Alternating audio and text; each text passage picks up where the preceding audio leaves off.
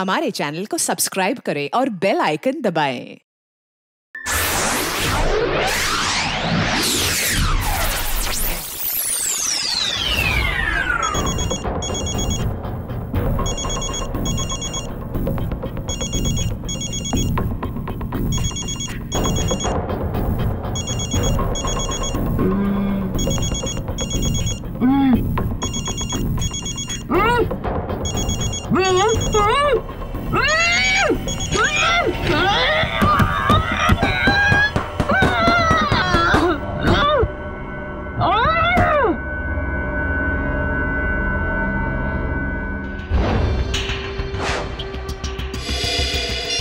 तारिका phone क्यों नहीं उठा रही? तारिका प्लीज़ फ़ोन उठाओ। डॉक्टर सालुंके को फ़ोन करता हूँ।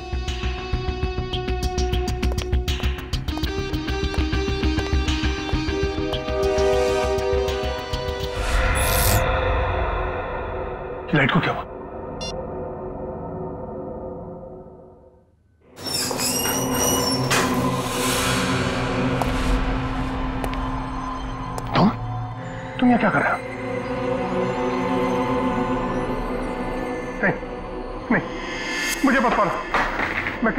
बारे में नहीं बताऊँगा। चार घंटे हो गए तारिका का कुछ पता नहीं चल रहा है।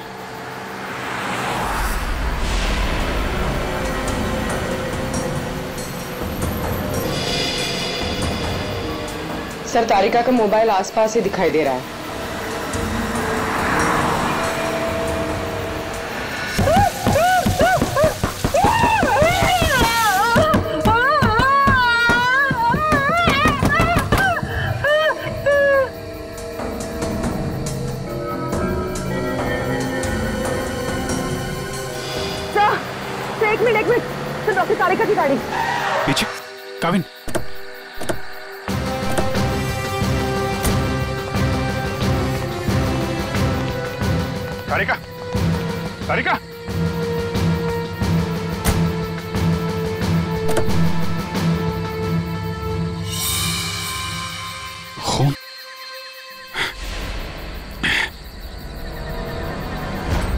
कुछ हुआ है तारिका को खून है यहाँ पे। डॉक्टर जगन? डॉक्टर जगन? अरे कुछ देर पहले फ़ोन किया था बहुत देर है। गया कहाँ ये? देखो जरा लाइट लगा।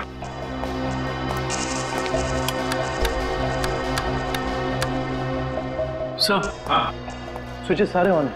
लगता है मेन स्विच ऑफ़ है। मेन स्विच ऑफ़ है? कमाल है।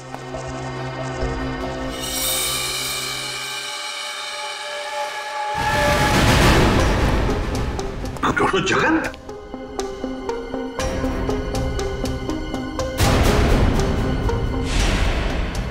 सर ये तो मर चुके हैं। सर कहीं ऐसा तो नहीं कि खूनी को पता चल गया हो कि डॉक्टर जगन हमें कुछ बताने वाले थे इसलिए। कुछ समझ में नहीं आ रहा सर पहले तारिका का गायब होना और अब जगन जी का खून। वही तो। तारिका तारिका! जी डॉक्टर तारिका। तारिका।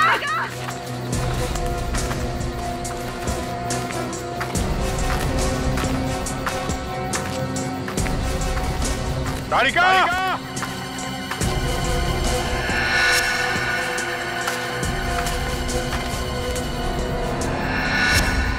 ओ ये तारिका का ईयर रिंग इयरिंग यहाँ पर। यहीं होगी फो, फ़ोन लगा फ़ोन लगा।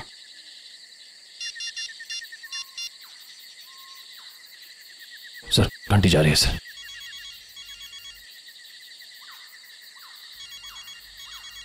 सर। उस तरफ़। हाँ सर।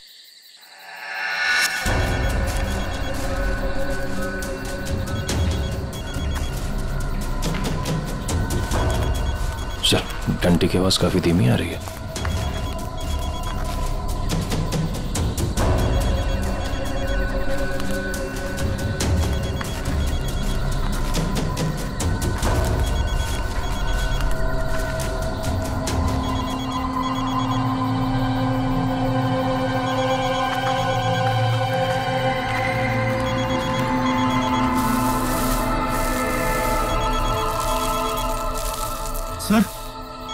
मिट्टी के नीचे दबा हुआ है वो नहीं डॉक्टर तारिका नीचे है। जल्दी खोलो इसको।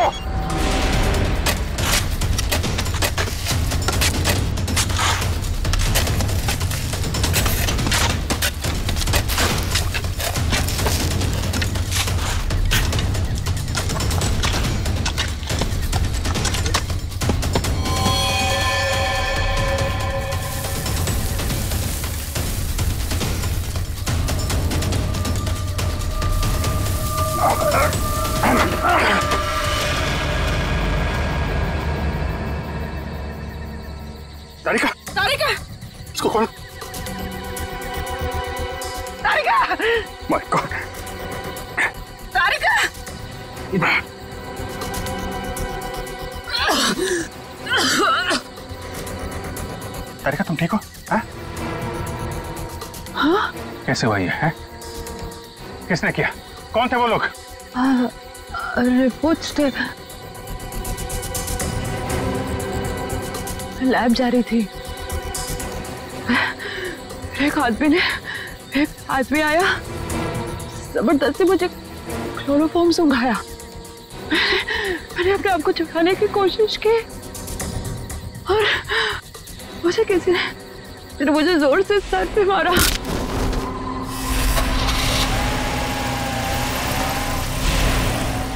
तो ये सब उन लोगों ने उस केस की रिपोर्ट्स के लिए किया है। इस केस ने हमें तीन दिन से उलझा रखा है। समंदर के अंदर बहता हुआ वो लकड़ी का टुकड़ा और उसके साथ वो आदमी की खोपड़ी। लगता है कोई बड़ी मछली फंसी है जाल में। खींच खींच। अरे ये तो कोई लकड़ी का टुकड़ा फंसा हुआ है जाल में। खींच। अरे जल्दी निकाल, नहीं तो जाल फट जाएगा। खींच।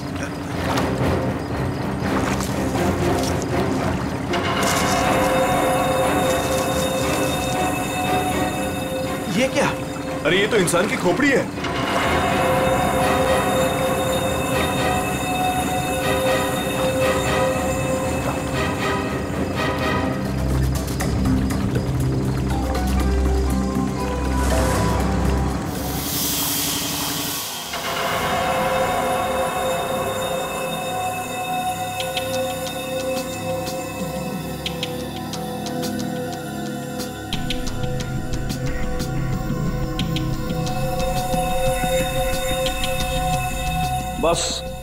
समुद्र में बहती हुई लकड़ी साधारण लकड़ियों से काफ़ी अलग है क्योंकि ये लकड़ी समुद्र के पानी में हज़ारों मील बहती हुई आई है। समुद्र के सारे जीवन को अपने आप में समेटे हुए है। तो फिर साळुंखे इस लकड़ी से हमें पता चल सकता है ना कि ये किस किस तरह के पानी में से बहकर आई और पानी की क्या खूबियाँ हैं।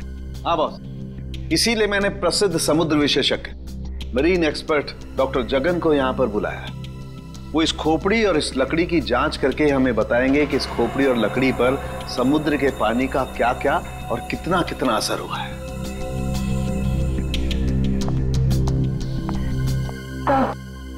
यहाँ सर पे पीछे गोली मारी गई है इस आदमी को।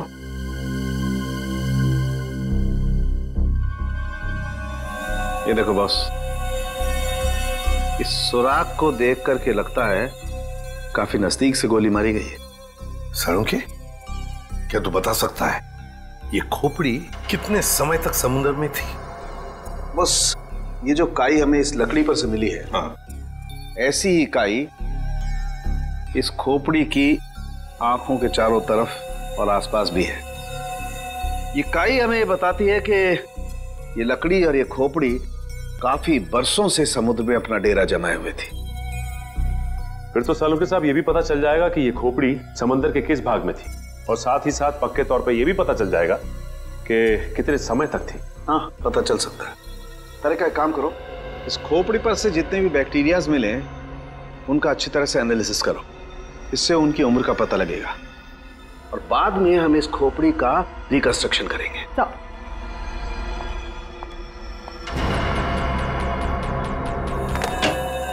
सॉरी डॉक्टर सालंक थोड़ा लेट हो गया। अरे यार। एनीवे कोई बात नहीं। बस। ये है वो समुद्र से बहती हुई लकड़ी, जिसके बारे में मैंने आपको बताया था। प्लीज़ चेक इट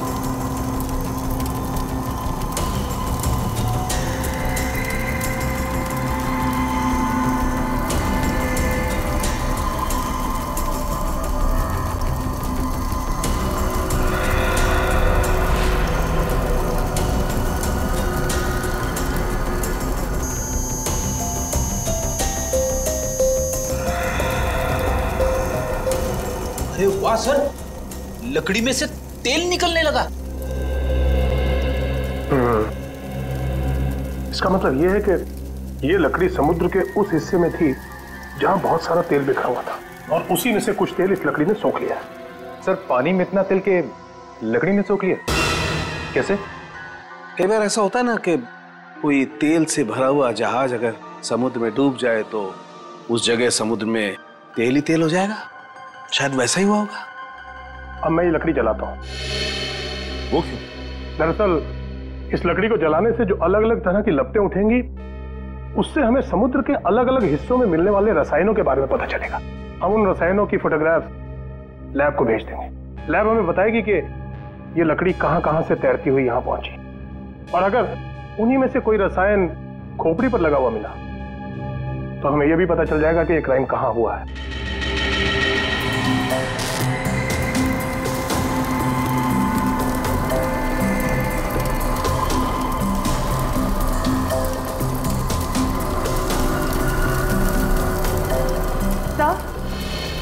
सर इस खोपड़ी में मिले समुद्री बैक्टीरिया और एल्गी की उम्र लगभग सात आठ साल है। सात आठ साल से समुन्द्र में? तो इसका एक ही मतलब है कि ये खोपड़ी जिस आदमी की है उसकी मौत समुन्द्र में 2005 में हुई है। 2005 उन रिपोर्ट से हमें पता चल सकता था वो खोपड़ी कहाँ थी कहाँ से बह के आई थी। कोई तो है लेकिन जो ये नहीं चाहता कि सीआईडी इस केस की तह तक पहुँचे। किसी के चाहने या ना चाहने से सीआईडी नहीं रुकती।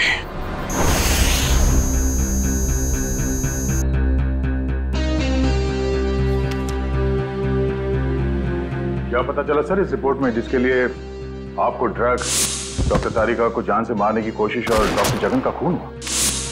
दया रिपोर्ट के मुताबिक वो खोपड़ी 35 से 40 साल के आदमी की है। और वो जो लकड़ी की लपटों के अलग अलग फोटोग्राफ्स हमने लैब में भेजे थे। उन लपटों का केमिकल कंपोजिशन अरब महासागर के पानी से मिलता है। लेकिन उन लपटों का केमिकल कंपोजिशन सबसे ज़्यादा साओलिन समुद्र तल के पानी से मिलता है। इसका मतलब है साउलिन समुद्र तल से ऊपर उठकर ये खोपड़ी बहती हुई लकड़ी से उलझकर अरब सागर में पहुँची। बिल्कुल। सालुंखे ने कहा कि उस खोपड़ी के अंदर वाले हिस्से में उसे कुछ बैक्टीरिया मिली। किण्वन क्रिया करने वाली बैक्टीरिया, फर्मेंटेशन करने वाली बैक्टीरिया। और फिर मरीन एक्सपर्ट डॉक्टर जगन के रिपोर्ट में यह भी बताया है, उसकी खोपड़ी के ऊपर से कुछ फेरस ऑक्साइड के अंश मिले। फेरस ऑक्साइड लोहे की जंग। लेकिन सर, समुंदर के नीचे एक खोपड़ी पे लोहे की जंग कैसे आ सकती है सर? वही तो। ये खोपड़ी आठ नौ सालों से पानी के अंदर थी और बहती हुई एक लकड़ी से जाकर फंस गई जिस पे से हमें तेल के भी कुछ अंश मिले। हो सकता है ये खोपड़ी किसी डूबे हुए जहाज़ के मलबे के नीचे दब गई हो।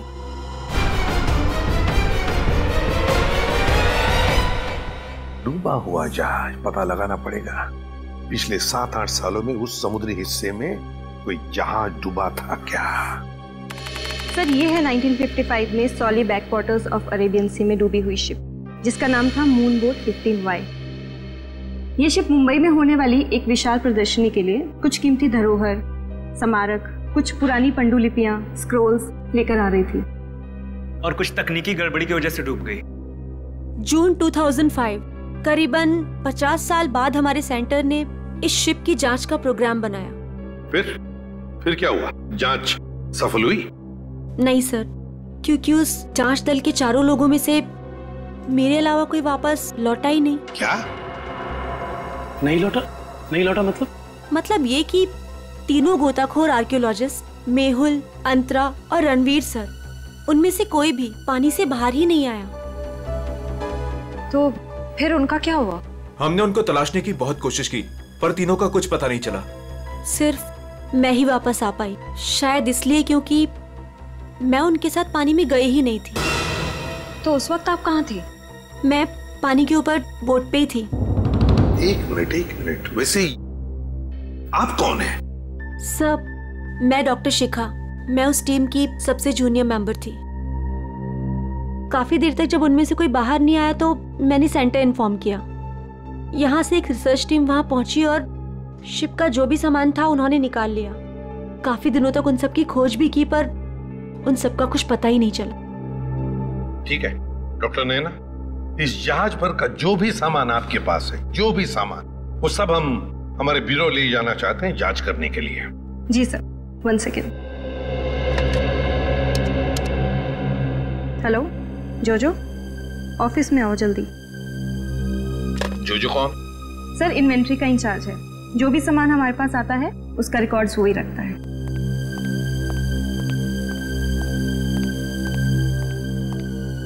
मैडम आपने बुलाया मुझे? हाँ ये लोग सीआईडी से हैं और इन्हें मून बोट 15 वाई से मिला हुआ जो भी सामान है वो इन्हें चाहिए। ठीक है सर मैं आपके ऑफ़िस में भिजवा देता हूँ क्योंकि कुछ समय लगेगा कुछ डिटेल और गेट पास बनाने में। ठीक है कोई बात नहीं। जो जो ने ये सारा सामान भेजा है मरीन रिसर्च सेंटर से। और तुम इन सारे सामानों को लिस्ट से मैच करके देख रहे हो? हाँ सर और रणवीर अंतरा और मेहुल उन सब की फ़ोटो भी भेजी है ईमेल पे और उनके रिकॉर्ड्स भी। मयूर वही चेक कर रहा है। गुड। काम करो फ्रेडी तुम्हारा ये सब लिस्ट चेक होने के बाद में सारा का सारा सामान फोरेंसिक लैब में भेज दो। Yes sir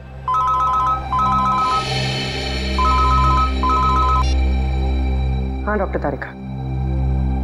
Okay great thanks sir उस खोपड़ी का रिकंस्ट्रक्शन हो गया है। डॉक्टर तारिका ने मेल भेजा फेस इंप्रेशन का। गुड मयूर सर देखो जरा वो चेहरा चेक करो। सर ये रही उस आदमी की शक्ल। मयूर अब रणवीर मेहुल और अंतरा इन तीनों के चेहरे दिखा सर। ये रहे सर सर खोपड़ी से जो चेहरा बनाया गया है वो मरीन से गायब हुए किसी भी आदमी से मैच नहीं करा। हाँ सचिन मिल तो नहीं रहा है फिर भी फिर भी एक खोपड़ी पर जो चेहरा बना है ना उसे मयूर हमारे रिकॉर्ड्स के साथ मैच करके देखो।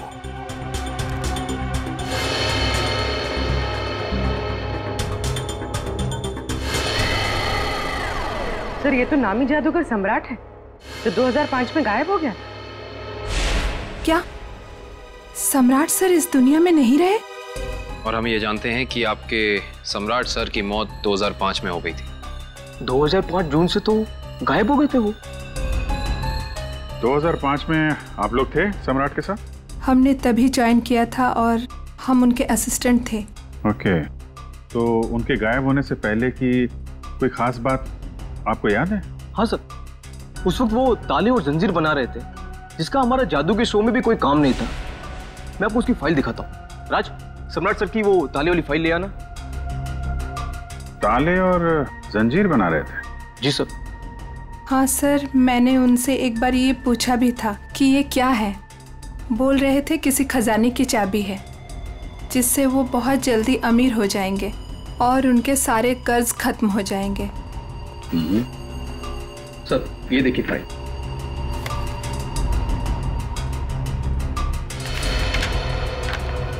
सर ये ताले जैसे दिखते नहीं हैं लेकिन ये ताले ही हैं। सर चार जून को वो अपने बनाए हुए ताले और जंजीर लेकर चले गए और हमसे कहा कि आज दौलत दरवाजे पर आ जाएगी। लेकिन सर उस दिन के बाद वो कभी वापस ही नहीं लौटे। तुम लोगों ने पता करने की कोशिश नहीं की? सर की थी। वो अपने पास कभी फ़ोन भी नहीं रखते थे। कोई परिवार भी नहीं था उनका। हमने पुलिस में भी रिपोर्ट की थी, मगर कुछ पता नहीं चला, सर।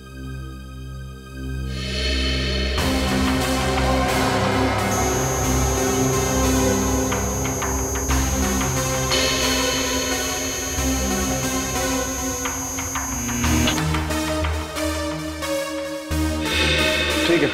नेक्स्ट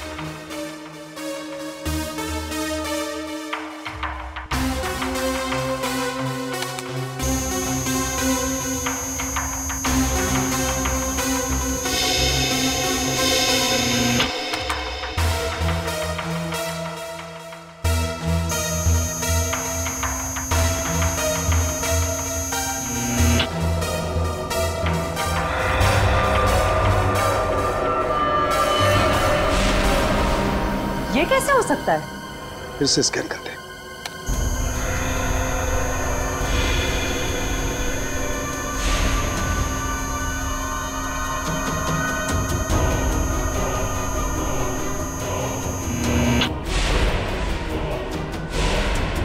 माय गॉड ये क्या चक्कर है?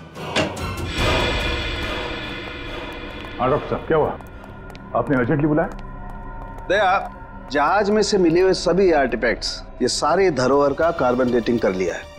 ये सभी की सभी चीज़ें सोलहवीं शताब्दी की हैं। सिर्फ़ एक चीज़ को छोड़कर। ये क्या बात कर रहे हैं मून बोट में मिली तमाम चीज़ों में एक चीज़ सोलहवीं शताब्दी की नहीं है। नहीं। सर इसका मतलब वो चीज़ मून बोट की हो ही नहीं सकती? बिल्कुल नहीं हो सकती और वो कोई धरोहर भी नहीं है। वो है एक छोटा सा हथियार। ये ये चाकू, जो 2002-2003 में बना है। सर 1955 में ये जहाज़ डूबी थी और उसमें 10-12 साल पुराना हथियार का मिलना इसका मतलब है कि समंदर के अंदर पड़ी ये मून बोट इसमें कुछ ना कुछ तो हुआ है। जब अंतरा, रणवीर और मेहुल गायब हुए थे 2005 में। और सर सम्राट का भी वहाँ होना कोई इत्तेफाक तो नहीं हो सकता। सर इसका मतलब सम्राट का कोई ना कोई संबंध तो ज़रूर है। उस घटना से जिसमें रणवीर मेहुल और अंतरा की जान गई उस पानी के अंदर। हम्म। समंदर के गहराई में वहाँ जाना पड़ेगा जहाँ पे इस मून बोट का मलबा पड़ा है।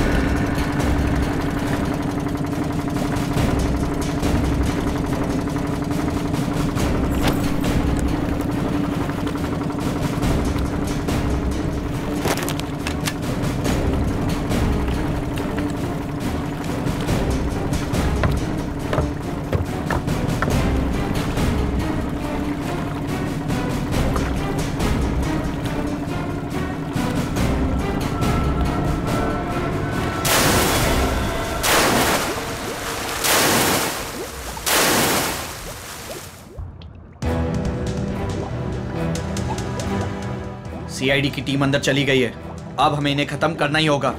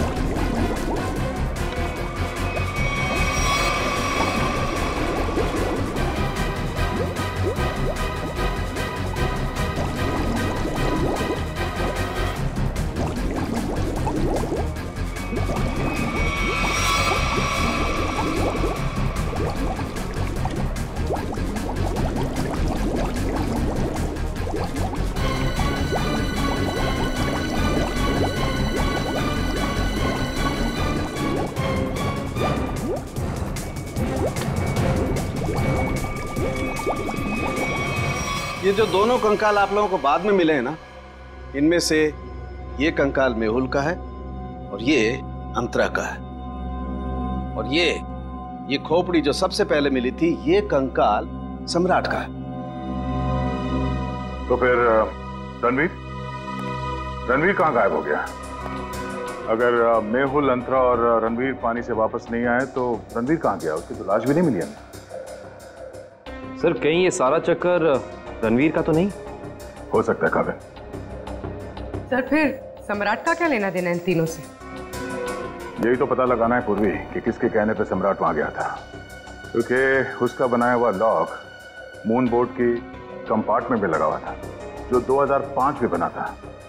और उसके बाद से वो गायब था। सर फिर तो शिखा से दोबारा पूछताछ करनी पड़ेगी। वो अकेली वापस लौट कर आई थी वो भी ज़िंदा। हम्म। सबसे पहले हमें मून बोट प्रोजेक्ट की वीडियो चाहिए। वो भी मरीन सेंटर को जानकारी दिए बिना। वरना उस वीडियोस के साथ छेड़छाड़ हो सकती है। और ये टेप आज रात ही चाहिए।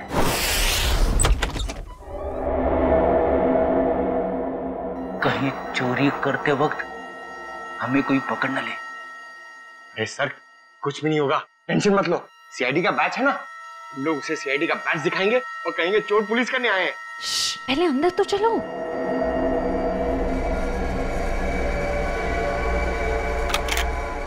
Sir sir sir. अंदर आर्काइव्स रूम में से कोई आवाज़ आ रही है? आप लोग जाओ मैं आता हूँ। मरेंगे तो साथ में मरेंगे। आपको जाओ ना। सर वो देखिए वहाँ पर कोई है।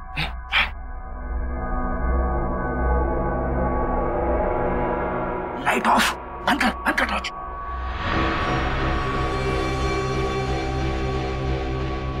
हमसे पहले कोई चोर आ गया? टेप चुराने के लिए? एसीपी साहब ने हमसे कहा नहीं कि उन्होंने किसी और को भी टेप चुराने के लिए बोला है।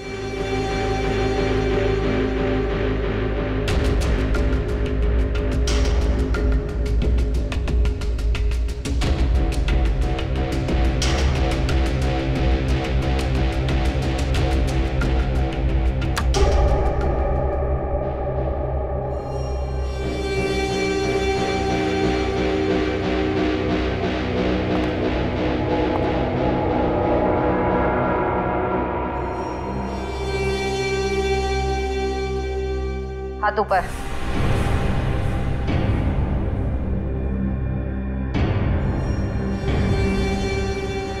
कौन हो तुम? नकाब उतारो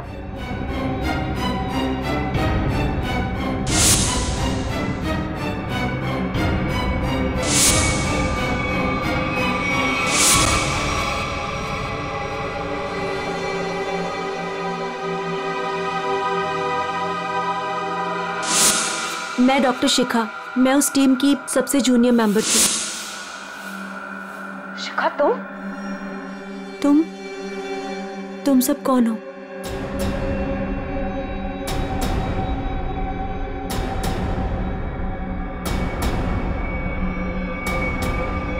सीआईडी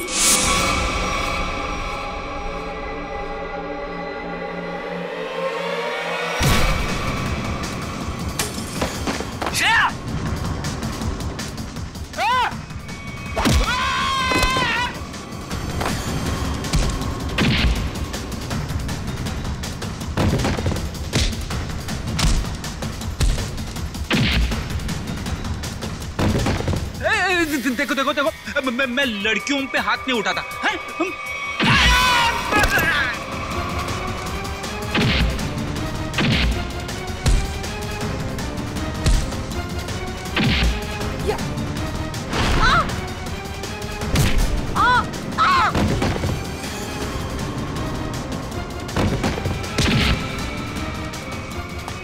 देख नारी शक्ति लय भारी लेकिन मेरी माँ अब भागना मत नहीं हाँ वो तो ए, ए, ए, ए, रुक जाओ शिखा? शिखा तुम? इतनी रात के तुम यहाँ क्या कर रही हो? सब सब मैंने कुछ नहीं किया है। मुझे जाने दीजिए। सर ये झूठ बोल रही है। इसने इसने कोई टेप्स चुराए हैं। टेप्स कैसे टिप्स चुराए तुमने? सब सब मैं बेगुनाह हूँ। मैं बस ये नहीं चाहती थी कि वो मून बोट के टेप्स किसी और के हाथ लगे। क्या है उन टेप्स में? क्या है? बताओ जल्दी। सर वो उस टेप में सर मैं अपना काम कर रही थी। तभी मैंने देखा कि एक बोट सामने से आई और उसमें कुछ लोग थे।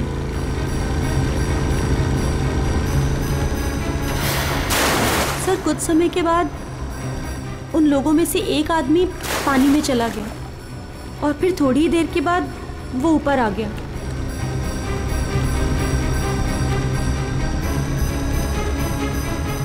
और सर, जैसे ही वो ऊपर आया, एक आदमी ने उस पर गोली चलाई और वो मर गया।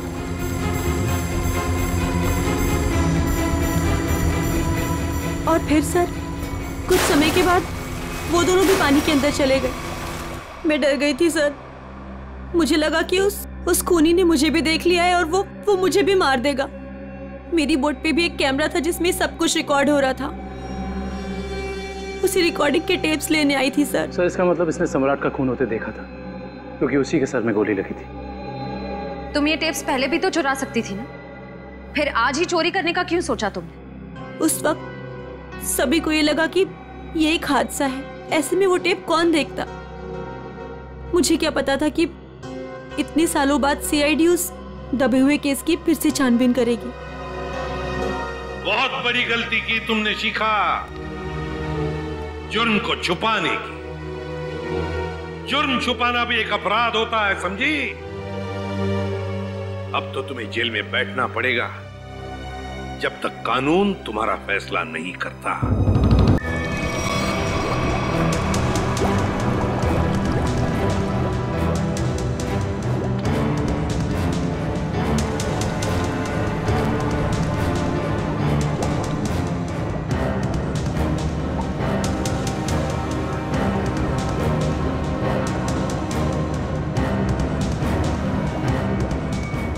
मिनट एक मिनट पॉज करो।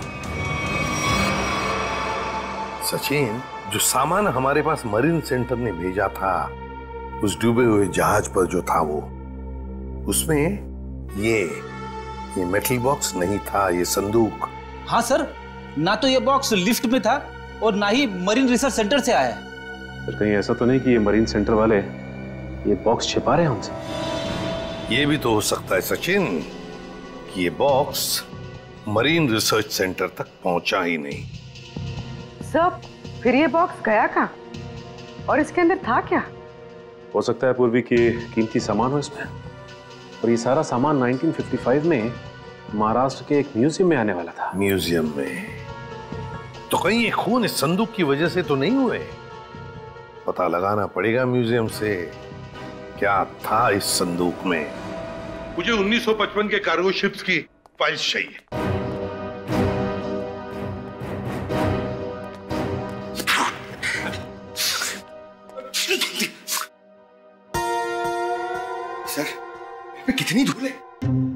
पे साफ़ सफ़ाई करने की सख्त मनाही है। चीख फैलाओ अभियान की।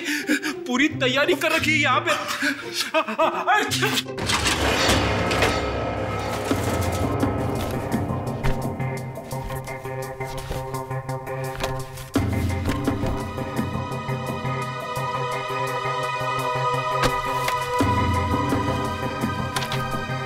सर ये रही वो फ़ाइल कार्गो शिप वाली ये देखिए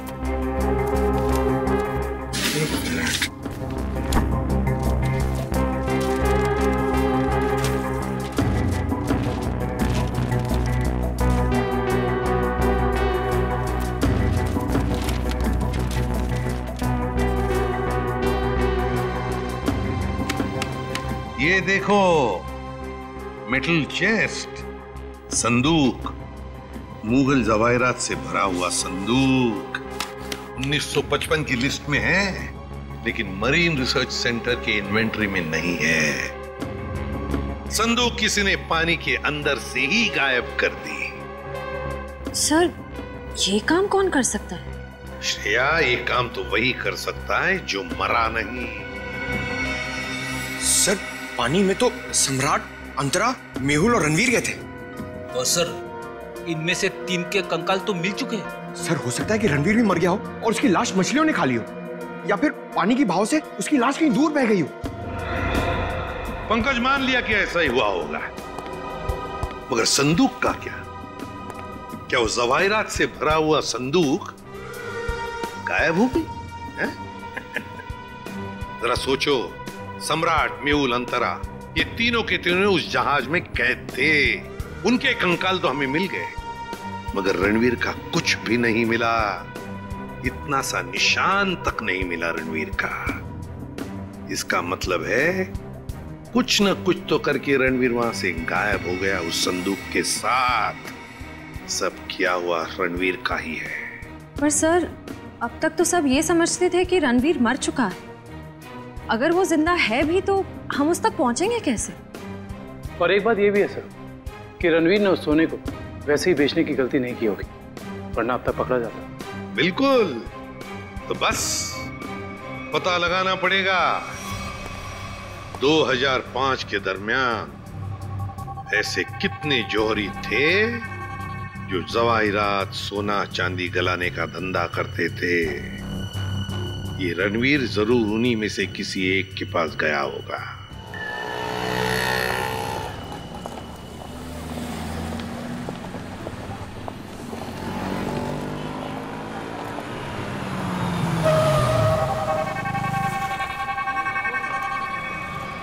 हाँ सर हम लोग पूरी कोशिश कर रहे हैं सर। अभी तक तो कुछ मिला नहीं सर। आप कुछ पता चला सर? हम लोग यहाँ पता कर रहे हैं सर। अगर आप कुछ पता चला तो हम आपको बताते हैं सर। आइए आइए सेठानी जी इससे पहले कि वो आ जाए आइए। इसको तो मैं ऐसे बंद कर देता हूँ। गलती हो गई। आइए आइए। बोलिए क्या काम है? यही है। बहुत खतरनाक जगह है ये। उतरते ही पीछे लग गया एक। नहीं समझे मैं समझाता हूँ। बहुत मुश्किल से आए हैं आपकी दुकान। पीछे एक चोर बुर्बक टाइप आदमी लग गया था। नीचे खड़ा आइए दिखाता हूँ उस तरफ़। आइए इधर आइए। वो देखिए फ़ोन पे बात कर रहा है। लगता है अपने साथियों को बुला रहा है यहाँ पर। बाप रे। आप रुकिए मैं अभी पुलिस को फ़ोन करता हूँ। हाँ पुलिस? पुलिस नहीं नहीं नहीं। अरे सेठ जी सेठ जी सेठ जी। अरे आप तो कच्चे खिलाड़ी निकले। अरे पुलिस को फ़ोन नहीं करना है। लोग बैठे हमारा जो माल है ना ये वाला अलग किस्म का है। अलग किस्म का? बताऊँगा नहीं टिकाऊँगा आइए शेठानी जी कम।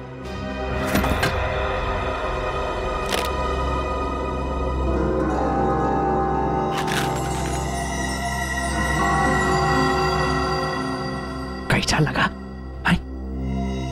एकदम सही जगह पर आए आप। कहाँ से हाथ मारा है? फालतू सवाल बड़े कर रहे हैं। आप माल देखिए आम खाइए पेड़ मत गिनिए। तो बेचना है। सेठानी जी कह रही है बेचना नहीं है। तो खरीदना है। खरीदना भी नहीं है। तो फिर गहनों के बदले गहने लेने हैं। तो फिर आप लोग क्यों आए हुए यहाँ बाज़ार में? मासूम है इधर देखिए हम ये चाहते हैं कि आप इस सामान को पिघला दें। जब बाज़ार बढ़े रेट बढ़े हम धीरे धीरे हौले हौले प्यार से बेचेंगे पैसे कमाएँगे।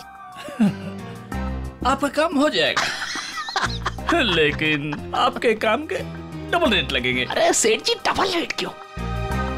कोई बात नहीं। ये काम पहले किया ना। अरे कैसी बात करते हो? बहुत बार किया और ये जो आप लेकर आए हैं, ये तो चिल्लर है। 2005 में तो हमने मुगल काल के बने हुए अरबों रुपए के गहने और कीमती धरोहर को गलाया था। और किसी को कानो कान खपट तक नहीं होने दी थी। पूरे चार दिन तक चलता रहा था ये काम। आइए मेरे साथ, आइए।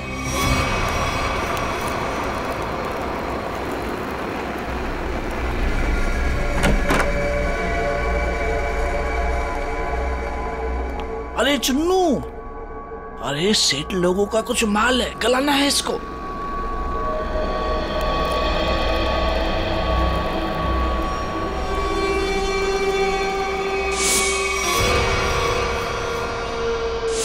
कितना माल है साहब?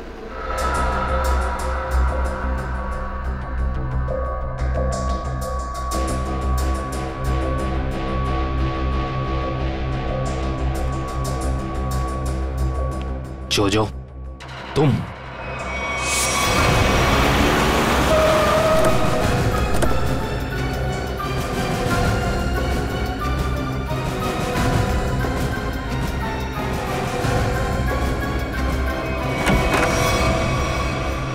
अरे आप कहीं जा रही हैं क्या?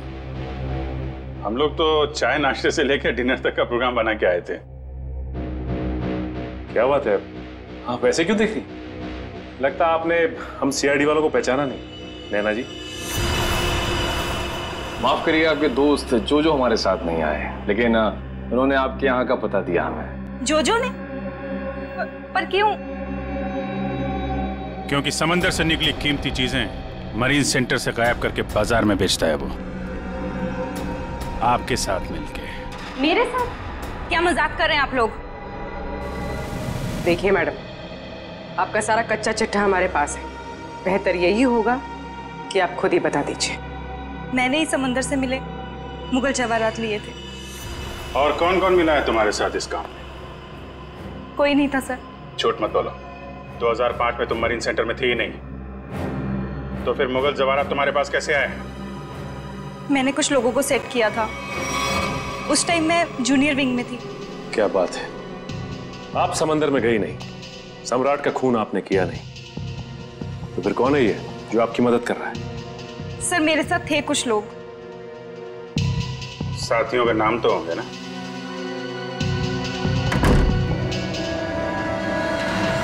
कौन है ना सर अंदर कोई नहीं सर। सर मैं अकेले हूँ सर। किसे देख रहे हैं सर?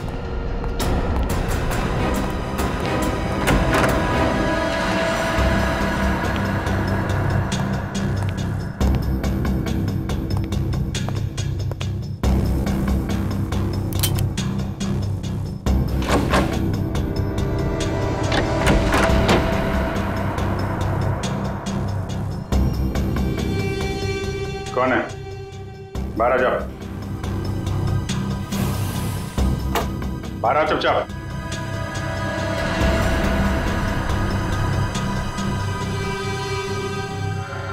ओ रणवीर। रणवीर? कौन रणवीर?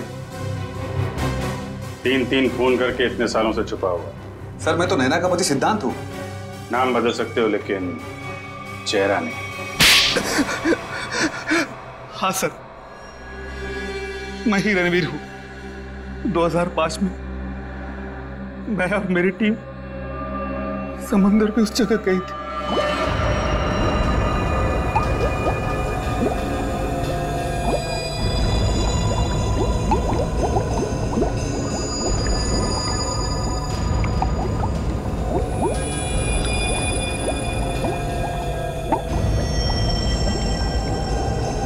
उस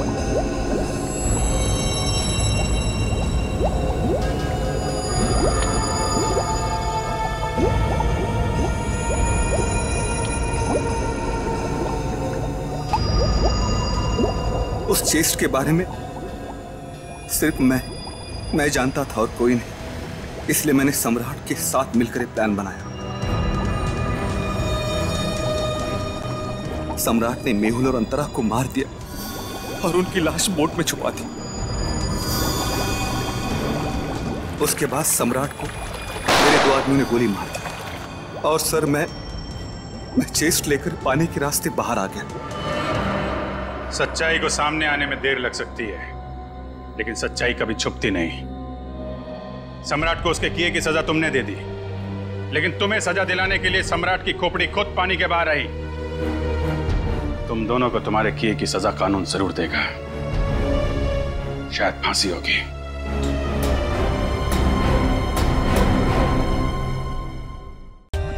For more update subscribe to our channel click the show links and enjoy watching the videos